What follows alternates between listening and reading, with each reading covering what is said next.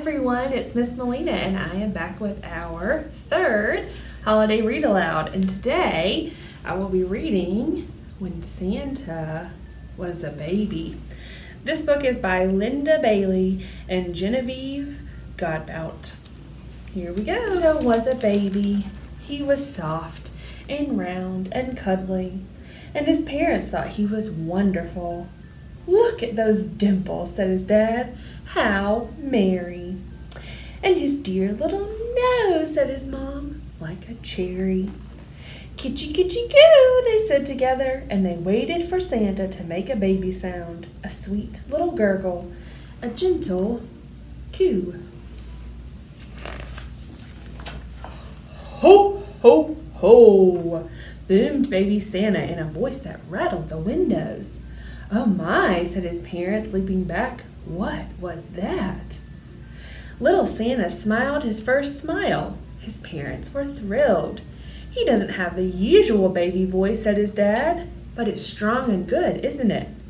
It's special, said his mom, just like him. The years went by and Santa grew older. He began to learn his colors. Right from the start, he liked red best. What about these dandy blue pajamas from Aunt Mabel? said his mom. Santa shook his head. Want red. Of course you do, said his dad. But blue is nice too. Want red, said little Santa. His parents put the blue pajamas in a drawer. Maybe he'll be a firefighter, said his mom. On his next birthday, Santa got a beautiful red fire truck from his mom and dad. He got a rocking horse from Grandma, a puzzle from Uncle Ned, and a pair of yellow pajamas from Aunt Mabel. Do you think he's going to wear those? Me neither. What a lovely time Santa had opening his presents. He had an even lovelier time wrapping them up again and putting them in a sack. What is he doing? asked his mom. Beats me, said his dad. They watched in amazement as Santa rode down the street, giving his presents away to all the boys and girls. Did you ever see anything like it? said Santa's mom. His dad shook his head. What a generous child. On his next birthday, Santa asked for a horse. Well, it wasn't exactly a horse. He said it was like a horse except it had horns and could pull a flying sled.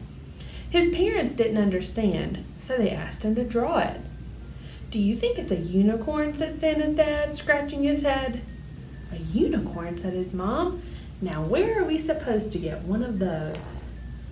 What is Santa asking for? A reindeer, that's right. They got him a hamster instead. It was a female hamster, and it soon had eight babies. When they grew big enough, Santa harnessed them with ribbons to a matchbox. He put tiny presents in the matchbox and trained the hamsters to pull it around the house. Listen, said his mom. He's calling them by name. Dasher, said Santa, and Dancer and Comet, and, um, Blixen. No, Vixen. Extraordinary, said Santa's dad. He's so creative, said his mom. Santa was an unusual child in many ways. For one thing, he did not like warm weather. When the other children were running around in the hot summer sun, little Santa stayed inside, waiting for the fridge door to open. We can't keep it open all the time, said his mom. Think of the electric bills. You're right, sighed his dad, but it makes him so Santa also had an odd interest in chimneys. What do you suppose he's looking at? asked his dad. His clothes are all covered in ashes and soot. We can wash them, said his mom. Isn't it great he's so curious? Maybe he'll be a scientist, said his dad.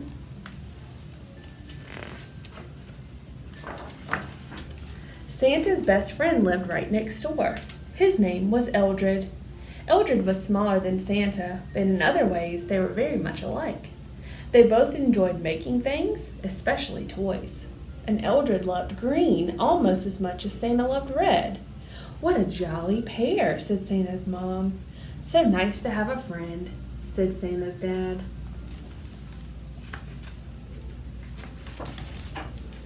As Santa got older, it became clear he inherited the family good looks. Goodness, said Santa's mom, just look at your bellies. They match. Like two bowls full of jelly, said Santa's dad. Ha ha ha. Tee hee hee, said Santa's mom. Ho ho ho, boomed Santa. When Santa became a teenager, he continued to be unusual. He knew his own mind, and he didn't always fit in with the crowd, but his parents thought he was wonderful. As for the rest of the story, well, you can probably guess. Santa followed his childhood dreams. He moved to the North Pole, where it's very cold. He built a toy making workshop and brought in a crew of elves to help. He got a big, beautiful sleigh and trained eight reindeer to pull it. And once a year, he travels around the world, climbing down chimneys to leave gifts for boys and girls.